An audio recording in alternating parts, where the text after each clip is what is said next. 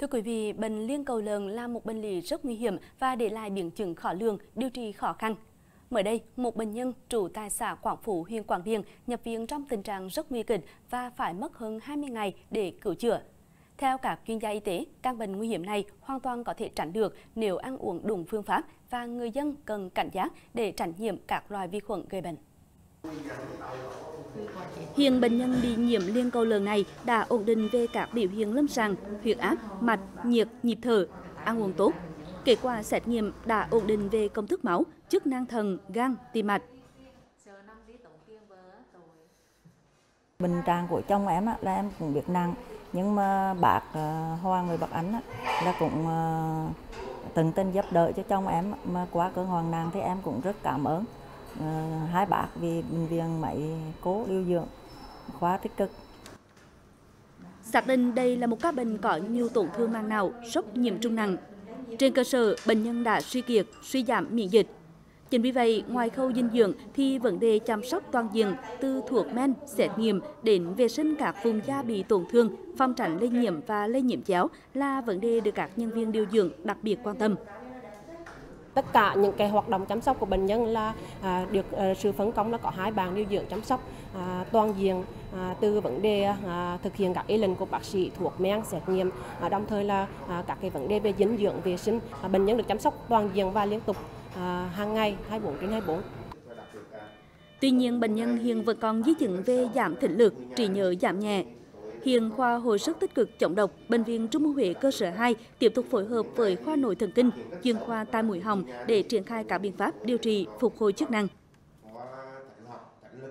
Chúng tôi đã tiến hành à, cấp cứu bệnh nhân ngay và bắt đầu là cho bệnh nhân là à, là xét nghiệm và à, các liên quan cấy máu liên và chúng tôi tiến hành đánh theo hướng nhiễm trùng huyết và liên cầu lợn. Thì xong quá trình 3 ngày sau thì kết quả chính thức là xác định bệnh nhân liên quan lợn. Và quá trình điều trị thì ờ, dưới sự chỉ đạo của giáo sư và anh em làm thì ờ, diễn tiến bệnh này diễn tiến càng lúc càng tốt. Và trải qua gần 20 ngày điều trị thì hiện tại chúng tôi khẳng định rằng bệnh nhân là uh, tỷ lệ thành công uh, rất tốt. Tuy nhiên còn những biến chứng là hiện tại thì bệnh nhân có cái đạn trí và có hơi giảm thính lực. Trước đó, bệnh nhân nhập viện trong tình trạng sốt cao, nôn, đi cầu phân lỏng nhiều lần. Dù được truyền dịch kháng sinh nhưng tình trạng bệnh vẫn không thuyên giảm. Toàn thân bắt đầu nổi vân tím, xuất huyết dưới da và dần rơi vào tình trạng nguy kịch đến tính mạng. Sau khi được xét nghiệm, bệnh nhân được xác định suy đa tạng do nhiễm khuẩn liên cầu lợn.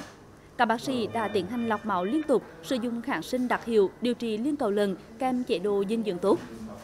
Theo khuyến cáo của bác sĩ, người dân cần ăn uống chín, không nên ăn thịt lợn chết không rõ nguồn gốc, không ăn tiết canh để tránh nhiễm các loại vi khuẩn gây bệnh có thể gây đến tử vong. Chúng tôi hội chẩn ngay và phát hiện từng trường hợp này là sốc nhiễm trùng và các cái biểu hiện ở trên da nghi là liên cầu lợn như thấm tím à, và xuất huyết dưới da thì nghĩ đây liên cầu lợn chúng tôi tiến hành uh, biện pháp là là lọc máu liên tục ngay từ đầu và kháng sinh theo của của của nhạy cảm của liên cầu lợn như trong nước có thể giới báo cáo thì cái tỷ lệ này thì đưa đến cái tỷ lệ thành công cao hơn so với mọi nơi do đó tôi cũng khuyến cáo các bà con thì ngoài cái cái cái cách chế độ ăn ra thì khi đau bệnh thì cần đến cái y tế gần nhất và chúng tôi sẽ phát hiện, ngoài chưa có xét nghiệm thì phát hiện các điều chỉnh lâm sàng chúng tôi thực hiện ngay thì tỷ lệ thành công cao ạ. Từ đầu năm đến nay, trong cả nước đã ghi nhận hàng chục trường hợp mắc bệnh liên cầu lợn, trong đó có không ít trường hợp tại một số tỉnh thành phố đã tử vong như Hà Nội, Nam Định, Điện Biên, Thanh Hóa, v.v. Bệnh liên cầu lợn do vi khuẩn Streptococcus sút gây nên là bệnh lây truyền từ động vật sang người và có thể gây tử vong. Khi có biểu hiện sốt cao từ 40 đến 41 độ, xuất hiện các mảng xuất huyết hoại tử dưới da, tiêu chảy, cần đến ngay cơ sở y tế gần nhất để được khám và điều trị, tránh nguy cơ tử vong.